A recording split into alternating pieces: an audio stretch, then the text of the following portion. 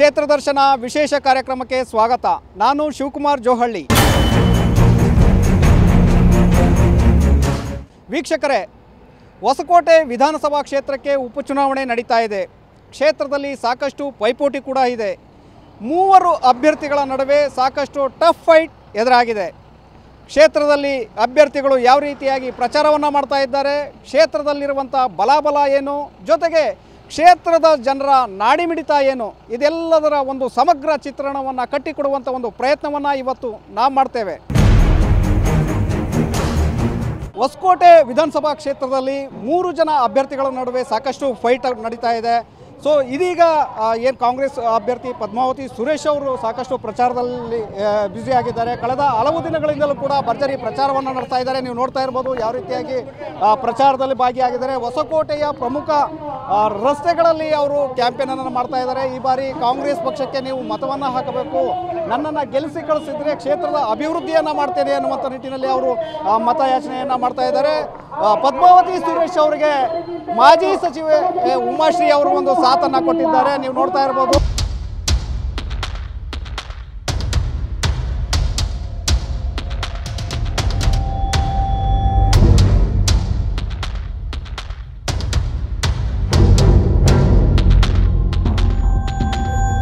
ಹೊಸಕೋಟೆ ವಿಧಾನಸಭಾ ಕ್ಷೇತ್ರದಲ್ಲಿ ಈಗ ಕಾಂಗ್ರೆಸ್ ಅಭ್ಯರ್ಥಿ ಪದ್ಮಾವತಿ ಸುರೇಶ್ ಅವರು ಇಡೀ ಕ್ಷೇತ್ರದಾದ್ಯಂತ ಭರ್ಜರಿ ಪ್ರಚಾರವನ್ನು ಮಾಡ್ತಾ ಇದ್ದಾರೆ. ಕಳೆದ ಹಲವು ದಿನಗಳಿಂದಲೂ ಕೂಡ ಮತದಾರರ ಬಳಿ ತೆರಳಿ ಮತಯಾಚನೆಯನ್ನ ಮಾಡ್ತಾ ಇದ್ದಾರೆ.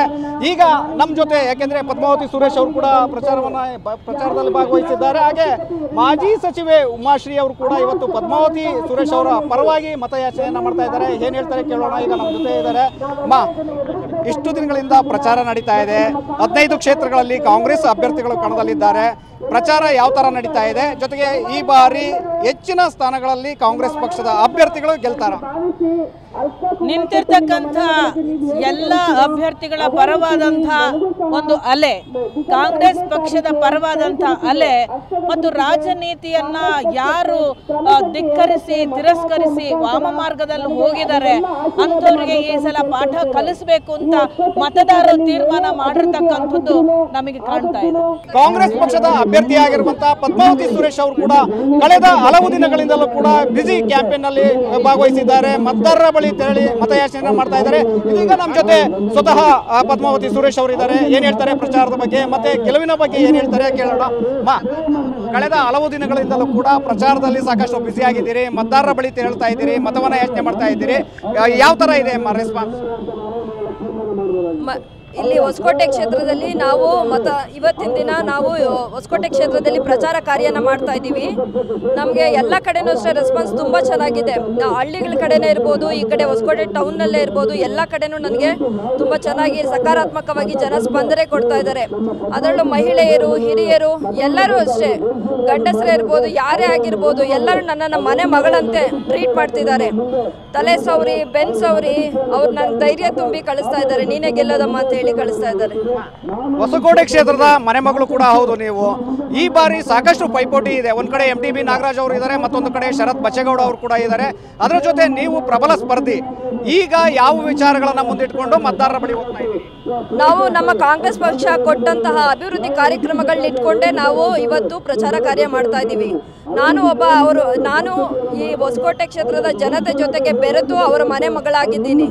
ಅವರೆಲ್ಲರೂ ನನ್ನ ಕೈ ಹಿಡಿದು ನನಗೆ ಸಾಥ್ ಕೊಟ್ಟು ನನ್ನನ್ನು ಗೆಲ್ಸೆ ಕೊಡ್ತಾರೆ ಅನ್ನೋ ಭರವಸೆ ನನಗಿದೆ.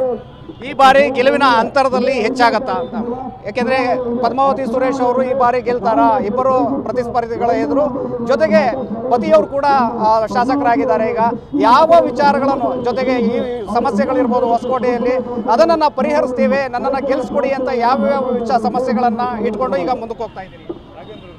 ಇಲ್ಲಿ ಯಾವುದೇ ಪ್ರಾಬ್ಲಮ್ಸ್ ಆದ್ರೂ ನಮ್ಮ ಮನೆಯವರು ನನ್ನ ಜೊತೆ ಯಾವಾಗಲೂ ಇದ್ದೇ ಇರ್ತಾರೆ, ಮಾರ್ಗದರ್ಶನ ಮಾಡಲಿಕ್ಕೆ ಅವ್ರು ಇದ್ದೇ ಇರ್ತಾರೆ. ಹಾಗೆಯೇ ಇಲ್ಲಿನ ಜನಗಳೆಲ್ಲರೂ ನನ್ನನ್ನು ಕೈ ಹಿಡಿದು ಮುಂದೆ ನಡೆಸ್ತಾರೆ. ನನಗದು, ನನಗೆ ತುಂಬ ಇದು ಕಾನ್ಫಿಡೆನ್ಸ್ ಇದೆ.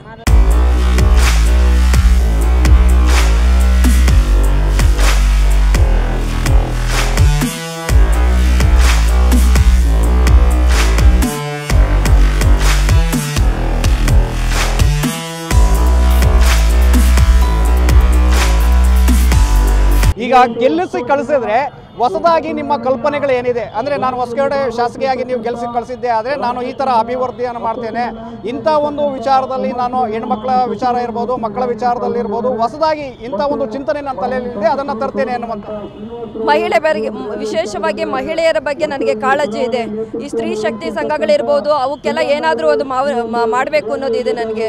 ಅವರ ಆರೋಗ್ಯ ಬಗ್ಗೆ, ಅವರು ಮತ್ತು ಇದು ಇಲ್ಲಿ ಹಲವಾರು ಕಾ ಪ್ರಾಬ್ಲಮ್ಸ್ ಇದಾವೆ ಇಲ್ಲೆಲ್ಲ ಮೋರಿ ಚರಂಡಿಗಳ ವ್ಯವಸ್ಥೆ ಇರ್ಬೋದು ರೋಡಿನ ವ್ಯವಸ್ಥೆ ಇರ್ಬೋದು ಮತ್ತೆ ಮಹಿಳೆಯರು ಸ್ವಾವಲಂಬಿಗಳಾಗೋದಕ್ಕೆ ಟೈಲರಿಂಗ್ ಇರ್ಬೋದು ಬ್ಯೂಟಿಷಿಯನ್ ಕೋರ್ಸ್ಗಳಿರ್ಬೋದು ಇನ್ನೂ ಹತ್ತು ಹಲವಾರು ಕಾರ್ಯಕ್ರಮಗಳು ನನ್ನ ಮನಸ್ಸಲ್ಲಿದೆ. ಅದನ್ನೆಲ್ಲ ಮಾಡಬೇಕು ಅಂತ ನಾನು ಅಂದ್ಕೊಂಡಿದ್ದೀನಿ. ಈ ಬಾರಿ ಹದಿನೈದು ಕ್ಷೇತ್ರಗಳಲ್ಲಿ ಅಭ್ಯರ್ಥಿಗಳಿದ್ದಾರೆ.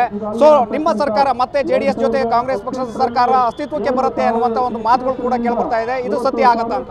ಹೌದು ಖಂಡಿತ ಬಂದು ಈ ಖಂಡಿತ ಮತ್ತೆ ನಮ್ಮ ಕಾಂಗ್ರೆಸ್ ಪಕ್ಷ ಅಧಿಕಾರಕ್ಕೆ ಬಂದು ನಮ್ಮ ಸಿದ್ದರಾಮಣ್ಣನವರಾಗ್ಲಿ ಅಥವಾ ಡಿ ಕೆ ಶಿವಕುಮಾರ್ ಅವರಾಗಲಿ ಮತ್ತೆ ಜ ಮುಖ್ಯಮಂತ್ರಿಗಳಾಗ್ತಾರೆ. ಹೆಚ್ಚಿನ ಮತಗಳ ಅಂತರದಿಂದ ಪದ್ಮಾವತಿ ಸುರೇಶ್ ಅವರು ಗೆಲ್ತಾರೆ. ಹೌದು ಅಧಿಕ ಮತಗಳಿಂದ ಗೆದ್ದೆ ಗೆಲ್ತೀನಿ ಎಷ್ಟು ಮತಗಳ ಅಂತರದಿಂದ ಗೆಲ್ತೀರಿ? ಅದನ್ನ ಹೇಳೋದಕ್ಕಾಗೋದಿಲ್ಲ. ಅದನ್ನ ಹೇಳೋದಕ್ಕಾಗಲ್ಲ ಅಧಿಕ ಅಧಿಕ ಮತಗಳಿಂದ ಗೆಲ್ತೀನಿ ಇದಿಷ್ಟು ಪದ್ಮಾವತಿ ಸುರೇಶ್ ಅವರ ಒಂದು ಅಭಿಪ್ರಾಯ. ಹೆಚ್ಚಿನ ಮತಗಳ ಅಂತರದಿಂದ ನಾನು ಈ ಬಾರಿ ಗೆಲ್ತೇನೆ. ಪ್ರಚಾರದಲ್ಲಿ ಭಾಗವಹಿಸ್ತಾ ಇದ್ದೇನೆ. ಹೋದ ಕಡೆ ಎಲ್ಲ ಉತ್ತಮವಾದಂತಹ ಒಂದು ರೆಸ್ಪಾನ್ಸ್ ಸಿಗ್ತಾ ಇದೆ ಅನ್ನುವಂತ ಒಂದು ಮಾತನ್ನ ಬಹಳ ಸ್ಪಷ್ಟವಾಗಿ ಹೇಳ್ತಾ ಇದೆ. ನಾವು ಮತ್ತೆ ಹೊಸಕೋಟೆ ವಿಧಾನಸಭಾ ಕ್ಷೇತ್ರದಲ್ಲಿ ಉಳಿದ ಅಭ್ಯರ್ಥಿಗಳು ಯಾವ ರೀತಿ ಪ್ರಚಾರ ಮಾಡ್ತಾರೆ? ಜೊತೆಗೆ ಅವರ ಒಂದು ಲೆಕ್ಕಾಚಾರಗಳೇನು, ಇದರ ಬಗ್ಗೆ ಕೂಡ ನಿಮ್ಮ ಮುಂದಿಡುವಂಥ ಒಂದು ಪ್ರಯತ್ನವನ್ನು ನಾವು ಮಾಡ್ತೇವೆ. ಇದೀಗ ಕಾಂಗ್ರೆಸ್ ಅಭ್ಯರ್ಥಿ ಪದ್ಮಾವತಿ ಸುರೇಶ್ ಅವರ ಒಂದು ಪ್ರಚಾರ ಮತ್ತು ಅವರ ಒಂದು ಪ್ರಚಾರದ ಶೈಲಿಯನ್ನು ನೋಡ್ಕೊಂಡು ಬಂದ್ವಿ. ಈಗ ನಾವು ಮತ್ತೆ ಎಂ ಟಿ ಬಿ ನಾಗರಾಜ್ ಅವರು ಬಿ ಜೆ ಪಿ ಅಭ್ಯರ್ಥಿ, ಅವರ ಪ್ರಚಾರ ಎಲ್ಲಿ ಮಾಡ್ತಾ ಇದ್ದಾರೆ? ಈಗ ಅವರು ಪ್ರಚಾರ ಮಾಡ್ತಾ ಇರುವಂಥ ಒಂದು ಜಾಗಕ್ಕೆ ಹೋಗ್ತಾ ಇದ್ದೀವಿ. ಅವರ ಪ್ರಚಾರ ಮತ್ತು ಅವರನ್ನು ಕೂಡ ಮಾತನಾಡಿಸುವಂತ ಒಂದು ಪ್ರಯತ್ನವನ್ನು ನಾವು ಮಾಡ್ತೇವೆ. ಬಿಜೆಪಿ ಅಭ್ಯರ್ಥಿ ಆಗಿರುವಂತ ಎಂ ಟಿ ಬಿ ನಾಗರಾಜ್ ಅವರ ಒಂದು ಪ್ರಚಾರವನ್ನು ಕೂಡ ನೋಡ್ತಾ ಇದ್ದೀವಿ. ಕ್ಷೇತ್ರದ ಹಲವು ಹಳ್ಳಿಗಳಿಗೆ ಎಂ ಟಿ ಬಿ ಅವರು ಭೇಟಿಯನ್ನು ಕೊಟ್ಟಿದ್ದಾರೆ. ಇದೀಗ ಅವರು ಭೀಮಾಪುರದಲ್ಲಿ ಪ್ರಚಾರವನ್ನು ಮಾಡ್ತಾ ಇದ್ದಾರೆ. ಜನರ ಬಳಿ ರೋಡ್ ಶೋ ಕೂಡ ಆಯೋಜನೆ ಮಾಡಿದ್ದಾರೆ. ಪ್ರಚಾರವನ್ನ ಭರ್ಜರಿಯಾಗಿ ಮಾಡ್ತಾ ಇದ್ದಾರೆ.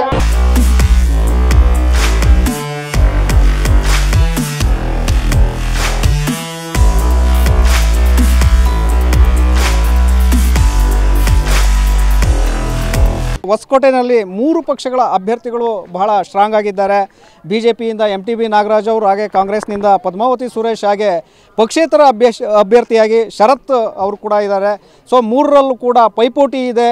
ನಾವು ಇದೀಗ ಭೀಮಾಪುರದಲ್ಲಿದ್ದೀವಿ. ಅಲ್ಲಿನ ಜನರ ಒಂದು ಅಭಿಪ್ರಾಯಗಳೇನಿದೆ? ಇಲ್ಲಿನ ಸಮಸ್ಯೆಗಳೇನಿದೆ? ಕೇಳೋಣ. ಸರ್ ಏನು ಸಮಸ್ಯೆಗಳಿದೆ, ಏನು ಪರಿಹಾರ ಆಗಬೇಕು, ಏನು ಕೆಲಸಗಳಾಗಬೇಕು, ಮತ್ತು ಈ ಬಾರಿ ಯಾರನ್ನು ಮತ್ ಕೈ ಹಿಡಿಯುವಂಥ ಒಂದು ಅವಕಾಶಗಳಿದೆ? ಅಂದರೆ ಆಲ್ಮೋಸ್ಟ್ ಅಲ್ಲಿ ಎಲ್ಲ ಕೆಲಸಗಳು ಒಂದು ತೊಂಬತ್ತು ಭಾಗ ಈ ಊರಲ್ಲಂತಲ್ಲ ಎಲ್ಲ ಊರಲ್ಲೂ ಕೆಲಸಗಳು ಮಾಡಿದ್ದಾರೆ. ಇನ್ನು ಸಣ್ಣ ಪುಟ್ಟ ಕೆಲಸಗಳಿದ್ದಾವೆ ಅದು ಯಾವುದಂದ್ರೆ ಶಾಶ್ವತ ನೀರಾವರಿ ಅನ್ನೋವಂಥ ಕೆಲಸಗಳಿರ್ತ ಇದ್ದಾವೆ ಅದನ್ನು ಮಾಡ್ಬೇಕಂದ್ಬಿಟ್ಟು ಎಂ ಟಿ ಬಿ ನಾಗರಾಜಣ್ಣವರು ತುಂಬ ಈಗ ಈಗಿನ ಮುಖ್ಯಮಂತ್ರಿಗಳಾದಂಥ ಬಿ ಎಸ್ ಯಡಿಯೂರಪ್ಪನವ್ರಿಗೆ ಒತ್ತಡ ಹಾಕಿ ಮೂವತ್ತು ಕೆರೆಗಳಿಗೆ ನೀರು ತುಂಬಿಸೋ ಕೆಲಸ ಮಾಡಿಸಿದ್ದಾರೆ. ತುಂಬ ಅಭಿವೃದ್ಧಿ ಕೆಲಸ ಮಾಡಿದ್ದಾರೆ. ಊರೂರಲ್ಲಿ ನೋಡಿ, ರಸ್ತೆ ನೋಡಿ, ಯಾವುದೇ ತೋಟದ ದಾರಿ ಇದ್ರೂ ಕೂಡ ಕಾಂಕ್ರೀಟ್ ರಸ್ತೆ ಹಾಕಿದ್ದಾರೆ, ನೀರು ಕೊಟ್ಟಿದ್ದಾರೆ. ಆದರೆ ಕೆರೆಗಳಿಗೆ ಶಾಶ್ವತವಾದ ನೀರಿನ ವ್ಯವಸ್ಥೆಗೆ ಮಾತ್ರ ಮಾಡಿದ್ದಾರೆ. ಯಾವುದೇ ರೀತಿ ಕುಡಿಯೋ ನೀರಿನ ತೊಂದರೆ ಇಲ್ಲ. ಇನ್ನೊಂದೇನೆಂದರೆ ದಿನದ ಹನ್ನೆರಡು ಗಂಟೆನೂ ಕ್ಷೇತ್ರದಲ್ಲಿರ್ತಾರೆ. ನೀವು ಯಾವಾಗೇ ಫೋನ್ ಮಾಡಿರಿ ಎಲ್ಲಿಗೆ ಆಗಲಿ ಸ್ಪಂದಿಸ್ತಾರೆ. ಎಲೆಕ್ಷನ್ ಆದಮೇಲೂ ಅಷ್ಟೇ ನೀವು ಏನಿಲ್ಲ ಅಂದ್ರೆ ಒಂದು ಹಳ್ಳಿಗೆ ಒಂದು ವರ್ಷಕ್ಕೆ ಏನಿಲ್ಲ ಅಂದರೂ ಹತ್ತು ಬಾರಿ ಹನ್ನೆರಡು ಬಾರಿ ಅವರು ಅವರೇ ಖುದ್ದಾಗಿ ಬಂದು ಭೇಟಿ ಮಾಡ್ತಾರೆ. ಸರ್ ನಿಮ್ಮ ಅಭಿಪ್ರಾಯ ಏನು? ಸರ್ ಅವ್ರು ನಮ್ಮ ತಾಲೂಕಲ್ಲಿ ಅಭಿವೃದ್ಧಿ ಕಾರ್ಯಗಳು ಬೇಜಾನು ಮಾಡಿದ್ದಾರೆ. ಸರ್ ಈಗ ಪ್ರತಿಯೊಂದು ಹಳ್ಳಿಯಲ್ಲೂ ಓಡಾಡೋಕ್ಕೆ ಬರೀ ಇದೆಲ್ಲ ನೀರು ಹರ್ಕೊಂಡು ಹೋಗೋ ಜಾಗ ಇತ್ತು. ಅದಕ್ಕೆಲ್ಲ ಪ್ರತಿಯೊಂದು ಹಳ್ಳಿಗಳಲ್ಲೂ ಕಾಂಕ್ರೀಟ್ ರಸ್ತೆ ಹಾಕಿ ಮನೆ ಮನೆಗೂ ನೆಲ್ಲಿ ಹಾಕಿ ಪ್ರತಿಯೊಂದು ಅಭಿವೃದ್ಧಿ ಕೆಲಸ ಮಾಡಿದ್ದಾರೆ. ತುಂಬ ಒಳ್ಳೆ ಕೆಲಸಗಳು ಮಾಡ್ತಾಯಿದ್ದಾರೆ ನಮ್ಮ ಎಂ ಟಿ ನಾಗರಾಜಣ್ಣವರು ಇನ್ನು ಮುಂದಿನ ದಿನಗಳಲ್ಲಿ ಇರೋ ಕೆಲಸನೆಲ್ಲ ಮಾಡ್ತಾರೆ ಅಂತ ಹಾಗೆ ಪದ್ಮಾವತಿ ಸುರೇಶ್ ಅವರು ಕೂಡ ಬಹಳ ಸ್ಟ್ರಾಂಗ್ ಫೈಟರ್ ಹ್ಞೂ ಸೊ ಈಗ ಮೂರು ಜನದಲ್ಲಿ ಯಾರು ಗೆಲ್ತಾರೆ? ಎಂ ಟಿ ಬಿ ನಾಗರಾಜಣ್ಣು ಹಂಡ್ರೆಡ್ ಹಂಡ್ರೆಡ್ ಪರ್ಸೆಂಟು ಗೆಲ್ತಾರೆ. ಈಗೇನು ಒಂದು ಈಗ ಇಪ್ಪತ್ತು ವರ್ಷದಿಂದ ನಾವು ನೋಡಿರೋದು ನಾವು ಓಟ್ ಹಾಕಿರೋ ಇಪ್ಪತ್ತು ವರ್ಷದಿಂದ ನಾವು ಬಚ್ಚೇಗೌಡರ ಸರ್ಕಾರ ಇದ್ದಾಗಿನಿಂದ ನೋಡ್ಕೊಂಬಂದಿರೋದು ಬರೀ ಆಶ್ವಾಸನೆಗಳು ಕೊಟ್ಕೊಂಡು ಈ ರಸ್ತೆ ಆತದೆ ಆ ರಸ್ತೆ ಆತದೆ ಅಂತ ಹೇಳ್ಬಿಟ್ಟು ಬರೀ ಆಶ್ವಾಸನೆಗಳು ಕೊಟ್ಕೊಂಡು ಕೆಲಸಗಳೇನು ಆತಾರಿಲ್ಲ. ಈ ಎಂ ಡಿ ಬಿ ನಾಗರಾಜಣ್ಣವರು ಈ ಕಡೆ ಬಂದಮೇಲೆ ನಮ್ಮ ತಾಲೂಕಲ್ಲಿ ಏನು ಅವರು ನಾವೇನು ತಿಳ್ಕೊಳಕ್ಕಾಗಲ್ಲ ಅಂತಂದಿದ್ದ ಕೆಲಸಗಳೆಲ್ಲನೂ ಅವರು ಅಚ್ಚುಕಟ್ಟಾಗಿ ಮಾಡಿ ಇವತ್ತು ಇಷ್ಟು ಮಾತ್ರಕ್ಕೆ ತಂದು ಮಡಗಿದ್ದಾರೆ. ಯಾವುದೇ ಒಂದು ಕುಡಿಯೋ ನೀರು ಶುದ್ಧ ಕುಡಿಯೋ ನೀರಿನ ಘಟಕಗಳಿರ್ಬೋದು ಕಾಂಕ್ರೀಟ್ ರಸ್ತೆಗಳಿರ್ಬೋದು ಸುಮಾರು ಬಡವ್ರ ನಿವೇಶನಗಳಿರ್ಬೋದು ಆದಷ್ಟು ಒಂದು ಸತ್ತಿರಲಿ, ಒಂದು ಬದುಕಿರಲಿ, ಒಂದು ಮದುವೆ ಆಗಲಿ, ಒಂದು ನಾಮಕರಣ ಆಗಲಿ, ನಮ್ಮ ಬಡವ್ರ ಜೊತೆಯಲ್ಲಿ ಸ್ಪಂದಿಸಿ ಅವರು, ನಮ್ಮ ಮನೆಯಲ್ಲಿ ಅವರು ಒಬ್ಬರು ಥರ ಆ ಥರ ಅವರು ಅವ್ರದ್ದು ನಾವು ಹೇಳ್ಕೋಬೇಕಂತಂದ್ರೆ ಇವತ್ತು ಸಾಯಂಕಾಲ ಆರು ಗಂಟೆ ತನಕ ಹೇಳಿದ್ರು ನಾವು ಹೇಳೋಕ್ಕಾಗಲ್ಲ. ಅಷ್ಟೊಂದು ಕೆಲಸಗಳು ಮಾಡಿದ್ದಾರೆ. ಬೇರೆ ಒಂದಿಲ್ಲ. Hundred percent M T B ನಾಗರಾಜಣ್ಣವರು ಗೆದ್ದೇ ಗೆಲ್ತಾರೆ. ನಮ್ಮೂರಲ್ಲಿ ನೀರಿರಲಿಲ್ಲ. ಕುಡಿಯೋಕೆ ನೀರಿರಲಿಲ್ಲ. ಬೋರ್ ಒಂದೂ ಇರಲಿಲ್ಲ. ಬೋರ್ ಹಾಕಿಸ್ನು ರಸ್ತೆ ಹಾಕಿಸ್ನು ನಮ್ಮ ಕ ಫಿಲ್ಟ್ರ್ ನೀರು ಅದು ವ್ಯವಸಾಯ ಮಾಡಿಕೊಟ್ನು ಓವರ್ ಟ್ಯಾಂಕಿ ಕೊಟ್ನು ನಮಗೆಲ್ಲ ಸಹಾಯ ಮಾಡೋಣ ಇನ್ನೇನೇನು ಕೆಲಸಗಳು ಆಗಬೇಕಾಗಿದೆ? ನಮ್ಗೆ ಮರಿ ಹಿಂದೆ ಆ ಯಪ್ಪನ ಗೆದ್ಕೊಂಡು ಬಂದಾಗ ಅವರು ಮನಸ್ಸಿನಾಗ ಏನು ನಮ್ಗೆ ಸಹಾಯ ಮಾಡಬೇಕಂತಿದ್ದ ಅದು ಮಾಡಲಿ ನಾವು. ನೀವೇನು ಹೇಳ್ತೀರಿ? Sir M T B Nagaraj Hosakote ತಾಲೂಕಲ್ಲಿ ಅಭಿವೃದ್ಧಿ ತುಂಬ ಮಾಡಿದ್ದಾರೆ. ಅವರು ಇಂಥ ವ್ಯಕ್ತಿ ನಮ್ಗೆ ಎಲ್ಲೂ ಸಿಗೋದಿಲ್ಲ. ಇಂಥ ವ್ಯಕ್ತಿ ನಾವು ಗೆಲ್ಸ್ಕೊಂಬರ್ಬೇಕು ಎಲ್ಲಿ, ಎಲ್ಲೇ ಯಾವುದೇ ಊರು ಹೋಗಲಿ, ಎಲ್ಲೇ ಕೇಳಲಿ ತಡ್ಕಂಗಿಲ್ಲ ಅಂಥ ವ್ಯಕ್ತಿ ರೋಡ್ ಆಗಲಿ ಮತ್ತು ಫಿಲ್ಟರ್ ನೀರಾಗಲಿ, ಜನರು ಕಷ್ಟ ಸುಖದಲ್ಲಿ ಅರ್ಧ ರಾತ್ರಿಯಲ್ಲಿ ಫೋನ್ ಮಾಡಿದ್ರೆ ಫೋನ್ ಎತ್ತಿ ಸಕ್, ಕಷ್ಟ ಸುಖನೂ ವಿಚಾರಿಸ್ತಾರೆ. ಇಂಥ ವ್ಯಕ್ತಿ ಈ ಸಲ ಗೆದ್ದು ಬಂದೇ ಬರ್ತಾರೆ, ನಮ್ಗೆ ಆಶಯ ಇದೆ.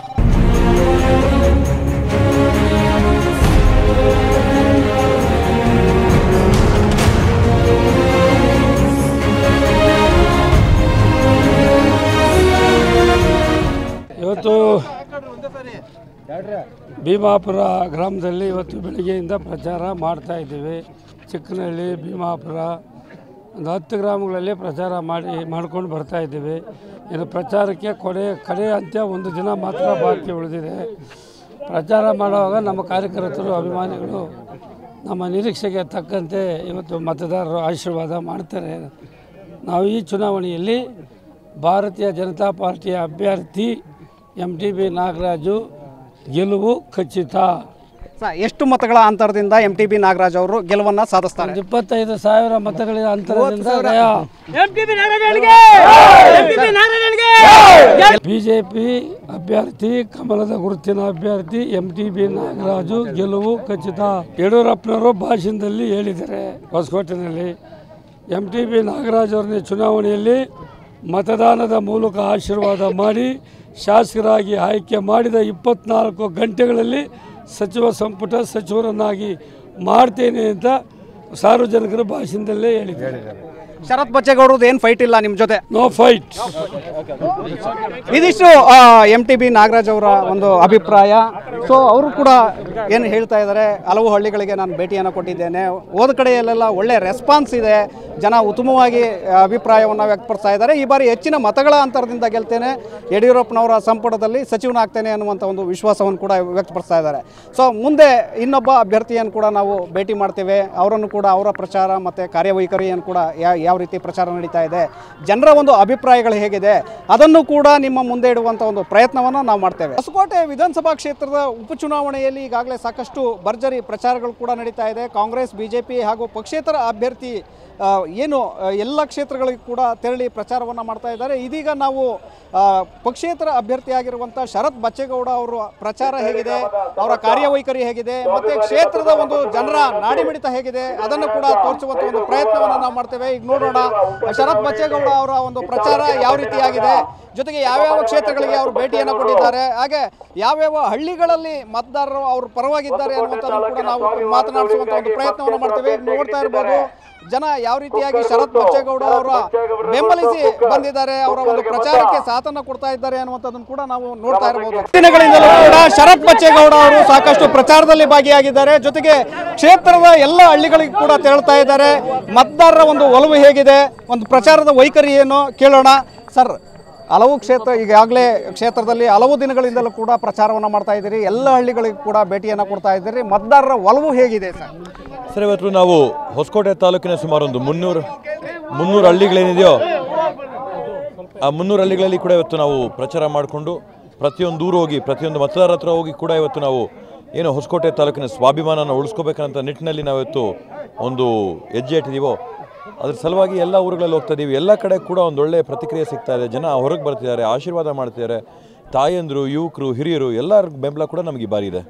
ಯುವಕರ ಬೆಂಬಲ ಈ ಬಾರಿ ಹೆಚ್ಚು ಶರತ್ ಬಚ್ಚೇಗೌಡ ಅವರ ಪರವಾಗಿದೆಯಾ? ಸರ್, ಯು ಯುವಕರು ಒಂದೇ ಅಲ್ಲ, ಹಿರಿಯರ ಆಶೀರ್ವಾದ ಕೂಡ ಇದೆ, ತಾಯಂದ್ರ ಆಶೀರ್ವಾದ ಇದೆ, ಸರ್ವ ಧರ್ಮಗಳು, ಸರ್ವ ಜನಾಂಗಗಳ ಬೆಂಬಲ ಇದೆ. ನಾವು ಏಜ್ ಗ್ರೂಪಲ್ಲಿ ಹದಿನೆಂಟರಿಂದ ಎಂಟು, ಎಂಬತ್ತನೇ ವಯಸ್ಸುವರೆಗೂ ಕೂಡ ಎಲ್ಲರೂ ಇವತ್ತವರೆಗೂ ಬಂದು ಏನು ನಮ್ಮ ಹೊಸಕೋಟೆಯಲ್ಲಿ ನಾವು ಅರವತ್ತು ವರ್ಷದ ಇತಿಹಾಸ ಇದೆಯೋ, ಅರವತ್ತು ವರ್ಷದ ಸೇವೆಯ ಒಂದು ಇತಿಹಾಸ ಇದೆಯೋ ಅದನ್ನು ಉಳಿಸ್ಕೋಬೇಕು. ಮತ್ತು ಇವತ್ತು ತಾಲೂಕಿನ ಸ್ವಾಭಿಮಾನನ ಉಳಿಸ್ಕೋಬೇಕಂತ ನಿಟ್ಟಿನಲ್ಲಿ ಎಲ್ಲ ಬಂದು ಬೆಂಬಲ ಸೂಚನೆ ಮಾಡ್ತಿದ್ದಾರೆ. ಸಾಕಷ್ಟು ಪೈಪೋಟಿ ಇರುವಂತಹ ಕ್ಷೇತ್ರ. ಒಂದು ಕಡೆ ಎಂ ಟಿ ಬಿ ಅವರು ಇದ್ದಾರೆ ಮತ್ತೊಂದು ಕಡೆ ಪದ್ಮಾವತಿ ಸುರೇಶ್ ಅವರು ಇದ್ದಾರೆ. ಜ ಹೆಚ್ಚಾಗಿ ನಿಮ್ಮ ಒಂದು ಹೆಸರು ಹೆಚ್ಚಾಗಿ ಕೇಳಿ ಬರ್ತಾ ಇದೆ. ಸೊ ಈ ಬಾರಿ ಹೆಚ್ಚಿನ ಒಂದು ಮತಗಳ ಅಂತರದಿಂದ ಶರತ್ ಬಚ್ಚೇಗೌಡ ಅವರು ಗೆಲ್ತಾರ. ಸರ್ ಇವತ್ತು ಇವತ್ತು ನಾವು ಪ್ರಾಮಾಣಿಕವಾದಂಥ ಪ್ರ ಗೆಲ್ಲಕ್ಕೆ ಏನೇನು ಪ್ರಾಮಾಣಿಕವಾದಂಥ ಪ್ರಯತ್ನ ಮಾಡಬೇಕು ಆ ಪ್ರಯತ್ನನೆಲ್ಲ ನಮ್ಮ ಕಡೆಯಿಂದ ಮಾಡ್ತಿದ್ದೀವಿ. ಇವತ್ತು ಸತತವಾಗಿ ನಾವು ಒಂದು ಎರಡೂವರೆ ತಿಂಗಳಿಂದಲೇ ನಾವು ಪ್ರಚಾರ ಮಾಡ್ಕೊಳ್ತಾ ಬರ್ತಾ ಇದ್ದೀವಿ. ಎಲ್ಲ ಭಾಗಗಳಲ್ಲಿ ಕೂಡ ನಮಗೊಂದು ಒಳ್ಳೆ ರೆಸ್ಪಾನ್ಸ್ ಸಿಗ್ತಾ ಇದೆ. ಇವತ್ತು ಕಳೆದಿಂದವರೆಗೂ ಕೂಡ ನಾವು ಯಾವುದೇ ಕಾರಣಕ್ಕೂ ನಮ್ಮ ಪ್ರತಿಸ್ಪರ್ಧಿಗಳು ಯಾರಿರ್ತಾರೋ ಅವ್ರನ್ನ ನಾವು ಹಗುರವಾಗಿ ತೊಗೊಳಕ್ಕಾಗೋದಿಲ್ಲ. ಆದ್ದರಿಂದ ನಾವು ಓಡಾಡಿಕೊಂಡು ನಮ್ಮ ಪ್ರಚಾರ ನಮ್ಮ ಗುರಿ ಈ ಬಾರಿ ನಾವು ಎಂ ಟಿ ಬಿ ವಿರೋಧನೂ ಎಲೆಕ್ಷನ್ ಮಾಡ್ತಾ ಇಲ್ಲ ಅಥವಾ ಪದ್ಮಾವತಮ್ಮನವ್ರ ವಿರೋಧವಾಗೂ ನಾವು ಎಲೆಕ್ಷನ್ ಮಾಡ್ತಾ ಇಲ್ಲ. ನಾವು ಮಾಡ್ತಿರೋದು ತಾಲೂಕಿನ ಸ್ವಾಭಿಮಾನದ ಪರ. ಕಳೆದ ಚುನಾವಣೆಯಲ್ಲಿ ತೊಂಬತ್ತೆರಡು ಸಾವಿರ ಓಟ್ ತೊಗೊಂಡಿದ್ವಿ. ಈ ಬಾರಿ ನಮ್ಮ ಗುರಿ ಇರೋದು ಏನೇ ಆಗಲಿ ಆ ತೊಂಬತ್ತೆರಡು ಸಾವಿರ ಮತಕ್ಕಿಂತ ಜಾಸ್ತಿ ತೊಗೋಬೇಕಂತ ಗುರಿನ ನಮ್ಮ ಬೂತ್ ಮಟ್ಟದ ಕಾರ್ಯಕರ್ತರಿಗೆ ನಾಯಕರಿಗೆ ಮುಖಂಡರಿಗೆ ಕೊಟ್ಟಿರ್ತಕ್ಕಂಥ ಗೋಲ್ ನಾವು. ಸರ್ ತಮ್ಮ ಕುಟುಂಬ ಭಾರತೀಯ ಜನತಾ ಪಕ್ಷವನ್ನು ಕಟ್ಟಿ ಬೆಳೆಸಿದಂಥವ್ರು ಯಾಕೆಂದರೆ ಹೊಸಕೋಟೆಯಲ್ಲಿ. ಈಗೆಲ್ಲೋ ಒಂದು ಕಡೆ ಈಗ ಪಕ್ಷದಿಂದ ಹೊರತಾಗಿ ಈಗ ಸ್ವಾಭಿಮಾನಿ ಅಂತೇಳಿ ನೀವು ಹೇಳಿ ಹೊರಡ್ತಾ ಇದ್ದೀರಿ. ಮುಂದೆ ಅಂದರೆ ಯಾವ ರೀತಿಯಾಗಿ ಒಂದು ನಿರ್ಧಾರವನ್ನು ತೆಗೆದುಕೊಳ್ತೀರಿ? ಅಂದರೆ ಮುಂದೆ ಬಿ ಜೆ ಪಿಗೆ ಹೋಗುವಂಥ ಒಂದು ಸಾಧ್ಯತೆಗಳಿವೆ ಅಥವಾ ಹೀಗೆ ಪಕ್ಷೇತರ ಅಭ್ಯರ್ಥಿಯಾಗಿ ಕಣದಲ್ಲೇ ಉಳ್ಕೊಳ್ತೀರಾ? ಸರ್ ಇವತ್ತು ಏನು ನಾವು ಸ್ಪರ್ಧೆ ಮಾಡೋಂಥ ತೊಗೊಂಡಿರ್ತಕ್ಕಂಥ ತೀರ್ಮಾನ? ನಾವೆಲ್ಲ ನಮ್ಮ ತಾಲೂಕಿನ ಮುಖಂಡರು ಮತದಾರರ ಜೊತೆ ಕೂತು ತೀರ್ಮಾನ ಮಾಡಿರ್ತಕ್ಕಂಥದ್ದು ಈ ಸ್ಪರ್ಧೆ ಮಾಡೋದ್ರಲ್ಲಿ ವೈಯಕ್ತಿಕವಾದಿ ನಂದೇನಾದರೂ ಒಂದು ಸ್ವಾರ್ಥ ಇಲ್ಲ. ಅದೇ ರೀತಿಯಲ್ಲಿ ಒಂಬತ್ತನೇ ತಾರೀಕು ಮತದಾನ ಆಗಿ ಕೌಂಟಿಂಗ್ ಆಗಿ ತಾಲೂಕಿನ ಮತದಾರರೆಲ್ಲ ಆಶೀರ್ವಾದ ಮಾಡಿ, ದೇವರ ಆಶೀರ್ವಾದ ಮಾಡಿ ಏನಾದರೂ ಒಂದು ಒಳ್ಳೆಯ ತೀರ್ಪು ಬಂದರೆ ಆವತ್ತು ಕೂಡ ನಾವು ತಾಲೂಕಿನ ಮತದಾರರ ಮುಂದೆ ಬಂದು ನಮ್ಮ ಮುಂದಿನ ಹೆಜ್ಜೆಗಳೇನಿರಬೇಕು ಅಂತ ಅವ್ರ ಹತ್ರ ಸಲಹೆ ತೊಗೊಂಡು ನಾವೆಲ್ಲ ಕೂತು ಚರ್ಚೆ ಮಾಡಿನೇ ತೊಗೊಳ್ತೀವಿ ಬಿಟ್ಟರೆ ವೈಯಕ್ತಿಕವಾಗಿ ನಾನೇನೋ ಒಂದು ತೀರ್ಮಾನ ತೊಗೊಳ್ಳೋದಿಲ್ಲ. ಸ್ವಾಭಿಮಾನಿ ಅಂತ ಯಾಕೆ ನೀವು ಹೆಸರು ಕೊಟ್ಕೊಂಡಿರೋ ಅಂತ? ಸರಿ ಅದು ಸ್ವಾಭಿಮಾನ ಅಂತಂದರೆ ತಾವು ನೋಡ್ದಂಗೆ ಇವತ್ತೇನು ಇವತ್ತು ಪಕ್ಷಾಂತರ ಮಾಡಿ ಪಕ್ಷದ್ರೋಹ ಮಾಡಿದಂಥ ಅನರ್ಹ ಶಾಸಕರಿದ್ದಾರೆ. ಅವರು ಕಾಂಗ್ರೆಸ್ ಪಕ್ಷಕ್ಕೂ ಕೂಡ ದ್ರೋಹ ಮಾಡಿದ್ದಾರೆ. ಯಾರೇ ಒಂದು ಮುಖಂಡರನ್ನ ನಾಯಕರನ್ನ ಮತದಾರರನ್ನ ಕೇಳದೆ ಅವ್ರ ಅನುಮತಿ ಪಡೆದೆ ಇವತ್ತು ಪಕ್ಷಾಂತರ ಮಾಡಿ ಕಾಂಗ್ರೆಸ್ ಪಕ್ಷಕ್ಕೆ ದ್ರೋಹ ಮಾಡಿ ಅಲ್ಲಿ ದುಡಿದಿರ್ತಕ್ಕಂಥ ಕಾರ್ಯಕರ್ತರ ಸ್ವಾಭಿಮಾನಕ್ಕೆ ಧಕ್ಕೆ ತಂದಿದ್ದಾರೆ. ಅದೇ ರೀತಿಯಲ್ಲಿ ನಾವು ಕಟ್ಟಿದಂಥ ಭಾರತೀಯ ಜನತಾ ಪಾರ್ಟಿಯಲ್ಲಿ ನಮ್ಮನ್ನು ಯಾರನ್ನೂ ಮಾತಾಡದೆ ಅನುಮತಿ ಪಡೆದೆ ಕೇಳದೆ ಬಂದು ನಮ್ಮ ಪಾರ್ಟಿಯಲ್ಲಿ ನುಗ್ಕೊಂಡು ನಮಗೆ ಜಾಗ ಇಲ್ಲದೆ ಇದ್ದಂಗೆ ಮಾಡಿ ನಮ್ಮ ಮತದಾರರಿಗೆ, ಕಾರ್ಯಕರ್ತರಿಗೆ ಎಲ್ಲರಿಗೂ ಕೂಡ ಅವ್ರ ಸ್ವಾಭಿಮಾನಕ್ಕೂ ಕೂಡ ಧಕ್ಕೆ ತಂದಿದ್ದಾರೆ. ಅದರಿಂದ ಎರಡು ಪಕ್ಷಗಳು ಕೂಡ ಹೊಸಕೋಟೆ ತಾಲೂಕಿನ ಸಮಸ್ತ ಮತದಾರರು ಏನಿದಾರೋ ಒಂದು ಎರಡು ಲಕ್ಷ ಮತದಾರರ ಸ್ವಾಭಿಮಾನ ಅದೆಲ್ಲಕ್ಕೂ ಕೂಡ ಒಂದು ಧಕ್ಕೆ ತರಂಥ ರೀತಿಯಲ್ಲಿ ನಡ್ಕೊಂಡಿದ್ದಾರೆ ಕಳೆದ ಒಂದು ಮೂರು ತಿಂಗಳಿಂದ ಅನರ್ಹ ಶಾಸಕರು. ಆದ್ದರಿಂದ ನಾವು ಸ್ವಾಭಿಮಾನ ಉಳಿಸ್ಕೋಬೇಕಾಗದೆ ತಾಲೂಕಿನ ಸ್ವಾಭಿಮಾನ ಉಳಿಸ್ಕೋಬೇಕು, ಗೌರವ ಉಳಿಸ್ಕೋಬೇಕನ್ನೋ ನಿಟ್ಟಿನಲ್ಲಿ ಇವತ್ತು ನಾವು ಸ್ವಾಭಿಮಾನ ಅಂತ ಮುಂದೆ ಬಂದಿದ್ದೀವಿ. ಶರತ್ ಬಚ್ಚೇಗೌಡ ಅವರ ಒಂದು ಅಭಿಪ್ರಾಯ. ನಾನು ಸ್ವಾಭಿಮಾನ ಹೆಸರಿನಲ್ಲಿ ನಾನು ಪಕ್ಷವನ್ನು ಮುನ್ನಡೆಸೋದಕ್ಕೆ ಹೊಟ್ಟಿದ್ದೇನೆ ಜೊತೆಗೆ ನಾನು ಯಾರ ಪರ ವಿರುದ್ಧವಾಗಿ ಕೂಡ ನಾನು ಮಾತನಾಡೋದಿಲ್ಲ. ಕ್ಷೇತ್ರದ ಮತದಾರರು ನನ್ನ ಪರವಾಗಿದ್ದಾರೆ ಅನ್ನುವಂಥ ಒಂದು ವಿಶ್ವಾಸವನ್ನು ಅವರು ವ್ಯಕ್ತಪಡಿಸ್ತಾ ಇದ್ದಾರೆ. ಜೊತೆಗೆ ಬಹುಮತದ ಏನು ಭಾರಿ ಅಂತರದಿಂದ ನಾನು ಈ ಬಾರಿ ಗೆಲ್ತೇನೆ ಅನ್ನುವಂಥ ಒಂದು ವಿಶ್ವಾಸವನ್ನು ಕೂಡ ಅವರು ವ್ಯಕ್ತಪಡಿಸ್ತಾ ಇದ್ದಾರೆ. ಈಗ ಇಲ್ಲಿ ಕ್ಷೇತ್ರದಲ್ಲಿ ಯಾವ ಥರ ಈಗ ಚುನಾವಣೆ ಉಪಚುನಾವಣೆ ನಡೀತಾ ಇದೆ ಏನು ವಾತಾವರಣ ಇದೆ ಮತ್ತು ಏನು ಸಮಸ್ಯೆಗಳಿದೆ ಸಮಸ್ಯೆ ಪರಿಹಾರ ಆಗಬೇಕು? ಎಲ್ಲ ಹಳ್ಳಿಗಳಿಗೂ ಸಾರಿಗೆ ವ್ಯವಸ್ಥೆಯನ್ನು ಮಾಡಿಕೊಟ್ರು. ಸುಸಜ್ಜಿತವಾದ ಎಲ್ಲ ರೀತಿಯ ಶಾಲಾ ಕಟ್ಟಡಗಳು ಸಮುದಾಯ ಭವನಗಳನ್ನು ಕಟ್ಟಿಕೊಟ್ರು ಇನ್ನೇನು ಕೆಲಸಗಳು ನಮ್ಮ ತಾಲೂಕು ಆಫೀಸಲ್ಲಿ ಬಾಬಾ ಸಾಹೇಬ್ ಅಂಬೇಡ್ಕರ್ ಪುತ್ಥಳಿಯನ್ನು ಸಹ ತಂದುಕೊಟ್ಟಂಥ ಸ್ವಾಭಿಮಾನಿ ಕುಟುಂಬದವರಿಗೆ ಇವತ್ತಿನ ದಿನ ನಮ್ಮ ಎದುರಾಳಿಯಾದಂಥ ಸ್ವ ಎಂ ಟಿ ಬಿ ನಾಗರಾಜಣ್ಣನವರು ಯಾವುದೇ ರೀತಿಯ ಅಭಿವೃದ್ಧಿ ಮಾಡದೆ ಮೂರಡಿ ಹತ್ತಡಿ ಕಾಂಕ್ರೀಟ್ ರೋಡ್ ಮಾಡಿ ನಾನು ಅಭಿವೃದ್ಧಿ ಅಭಿವೃದ್ಧಿ ಅಂತ ಜನಕ್ಕೆ ತಪ್ಪು ಮಾಹಿತಿಯನ್ನು ನೀಡುತ್ತಿದ್ದಾನೆ. ನಾವು ಎರಡು ಲಕ್ಷದ ಹದಿನಾರು ಸಾವಿರ ಜನ ಮತಬಾಂಧವರು ಏನಿದ್ದೀವಿ ಎಲ್ಲ ತೀರ್ಮಾನ ತಗೊಂಡು ನಮ್ಮ ಹೊಸಕೋಟೆಗೆ ಸ್ಥಳೀಯರು ಬೇಕು ನಮ್ಮ ಸ್ವಾಭಿಮಾನಿ ಅಭಿವೃದ್ಧಿ ಯಾರು ಮಾಡ್ತಾ ಇದ್ದಾರೆ ಕುಟುಂಬ ಸ್ವಾಭಿಮಾನಿ ಕುಟುಂಬದವ್ರು ಮಾಡ್ತಾವ್ರೆ ಅವ್ರಿಗೆ ಈ ಬಾರಿ ಗೆಲ್ಲಿಸ್ಬೇಕು ಅಂತ ನಾವೆಲ್ಲ ನಿರ್ಧಾರ ತಗೊಳ್ತಾ ಇದ್ದೀವಿ ಸರ್. ಏನು ಹೇಳ್ತೀರಿ ಏನಿದೆ? ಎಲ್ಲ ನಾವು ಶರತ್ ಬಚ್ಚೇಗೌಡನ ಗೆಲ್ಲಿಸ್ಬೇಕು. ಸರ್ ನಿಮ್ಮ ನಾವು ಶರತ್ ಬಚ್ಚ ಅವ್ರನ್ನ ಗೆಲ್ಲಿಸ್ಬೇಕಂತ ಸರ್ ನಿರ್ಧಾರ ಮಾಡಿದ್ದೀರಿ. ಅವರು ಅವ್ರು ಗೆಲ್ಲೇಬೇಕು ಅನ್ನೋದು ಪಣ ತಟ್ಟಿದ್ದೀರಿ. ಯೂತ್ಸು ಅನ್ನುವಂಥ ಹಾಂ ಯೂತ್ಸ್ ಅನ್ನೋ ಯೂತ್ ಕ್ಯಾಂಡಿಡೇಟ್ ಆದ್ದರಿಂದ ಇನ್ನೂ ಸ್ವಲ್ಪ ಭರ್ಜರಿಯಾಗಿ ನಡೀತಾ ಇದೆ. ಅದರಿಂದ ಶರತ್ ಅವ್ರನ್ನ ಗೆಲ್ಲಿಸ್ಬೇಕು ನೀವೇನು ಹೇಳ್ತೀರಿ? ನಾವು ಶರತ್ ಬಚ್ಚೇಗೌಡರ ಅಭಿಮಾನಿಗಳು. ಶರತ್ ಬಚ್ಚೇಗೌಡರು ವಿಜಯೋತ್ಸವ ಆಚರಿಸಲಿ ಅಂತೇಳಿ ನಾವು ಕೇಳ್ತಾ ಇದ್ವಿ ಅಷ್ಟೇ. ಸರ್ ನೀವೇನು ಹೇಳ್ತೀರಿ? ನಾವು ಅವರು ತಾತನು ಕಾಲದಾಗಿಂದ ನಾವು ಅವ್ರಿಗೆ ಮಾಡ್ತಾ ಇದ್ದು ಈ ಸಲನು ಶರತ್ ಬಚ್ಚೇಗೌಡ್ಗೆ ಮಾಡ್ತೀರಿ. ಅಭಿವೃದ್ಧಿ ಕೆಲಸ ಆಗ್ಬೇಕು ಸರ್. ರೋಡ್ಗಳಾಗಿಲ್ಲ ಇನ್ನು ಸುಮ್ಮನೆ ಕಾಂಕ್ರೀಟ್ಗಳು ಯಾವ ಮೂರು ಮೂರು ಅಡಿ ಹಾಕ್ಕೊಂಡು ನಮ್ಮದು ಕಾಮಗಾರಿ ಇದು ಮಾಡ್ತಾರೆ. ಅದ್ರ ನಿಂಕ ಈಗ ಯೂತ್ಗೆ ಇದು ಮಾಡಿದ್ರೆ ಒಳ್ಳೆ ಕೆಲಸ ಮಾಡ್ತಾರೆ ಅಂದ್ಬಿಟ್ಟು ನಾವು ಅವ್ರಿಗೆ ಓಟ್ ಹಾಕ್ಬೇಕು ಅಂತ ನಾವು ಮಾತಾಡ್ತಾ ಇದ್ದೀವಿ. ಸರ್. ನಾವು ಈ ಸಲ ಏನೋ ಹೊಸಬ ಹುಡುಗ ಬಂದು ನಿಂತ್ಕೊಂಡಿದ್ದಾರೆ ಅವ್ರಿಗೆ ಗೆಲ್ಲಿಸಿ ನಮ್ಗೆ ಏನೇನು ಕೆಲಸ ಐತೆ ಅದು ಮಾಡ್ಕೊಳ್ಳೋದು ನಾ ಅಂತ ಹೇಳ್ಬಿಟ್ಟು ನಮ್ಗೆ ಇಷ್ಟ ಐತೆ. ಅವರು ನಮಗೆ ಏನಿಲ್ಲ ಯಾರ್ಯಾರಿಗೆ ಮನೆ ಇಲ್ಲ ಅಂತ ಅವರಿಗೆ ಸ್ವಲ್ಪ ಮನೆ ಕೊಟ್ಟು ಜಾಗ ಕೊಟ್ಬಿಟ್ರೆ ಭಾಳ ಒಳ್ಳೆಯದು ಅಂತ ಹೇಳ್ಬಿಟ್ಟು ನಾವು ಒಂದು ನಂಬಿಕೆಯಿಂದ ಅವ್ರಿಗೆ ಓಟ್ ಎಲ್ಲರೂ ಹಾಕ್ತಾ ಇದ್ದೀನಿ. ನಾವು ಚನ್ನಬೈರೇಗೌಡ ಕಾಲದಾಗಿನಿಂದನೂ ನಾವು ಹತ್ತು ಕಡೆನೇ ಇರೋದು. ಯಜಮ ಯಜಮಾನ್ರ ಕಾಲದಾಗ್ನಿಂದ ಚನ್ನಬೈರ ಗೌಡ ಕಾಲದಾಗ್ನಿಂದ ಬೊಚ್ಚೇಗೌಡ್ರ ಕಾಲ್ದಾಗಿನಿಂದ ನಾವು ಅವ್ರ ಕಡೆನೇ ಇರೋದು. ಹಾಂ. ನಾವು ಜಯಶೀಲರಾಗಿ ಮಾಡಿ ಮಾಡ್ತೀವಿ ಮಾಡ್ತೀವಿ. ಹಾಂ. ನಾವು ಅವ್ರಿಗೆ ಓಟ್ ಮಾಡ್ತೀವಿ. ಹೊಸಕೋಟೆ ವಿಧಾನಸಭಾ ಕ್ಷೇತ್ರದಲ್ಲಿ ಇವತ್ತು ಇಡೀ ದಿನ ಯಾವ ಅಭ್ಯರ್ಥಿಗಳು ಎಲ್ಲೆಲ್ಲಿ ಪ್ರಚಾರವನ್ನು ಮಾಡಿದರು ಜೊತೆಗೆ ಯಾವ್ಯಾವ ಹಳ್ಳಿಗಳಲ್ಲಿ ಅವರು ಪ್ರಚಾರವನ್ನು ನಡೆಸಿದ್ರು ಜೊತೆಗೆ ಕ್ಷೇತ್ರದ ಮತದಾರರ ಒಲವು ಹೇಗಿದೆ, ಅವರ ಅಭಿಪ್ರಾಯಗಳೇನು, ಜೊತೆಗೆ ಕ್ಷೇತ್ರದಲ್ಲಿರುವಂತಹ ಸಮಸ್ಯೆಗಳೇನು, ಆಗಬೇಕಾಗಿರುವಂಥ ಪರಿಹಾರವೇನು, ಇದೆಲ್ಲವನ್ನು ಕೂಡ ಕಟ್ಟಿಕೊಡುವಂಥ ಒಂದು ಸಣ್ಣ ಪ್ರಯತ್ನವನ್ನು ನಾವು ಮಾಡಿದ್ದೇವೆ. ಧರ್ಮ ಜೊತೆ ಶಿವಕುಮಾರ್ ಜೋಹಳ್ಳಿ ಟಿ ವಿ ಬೆಂಗಳೂರು.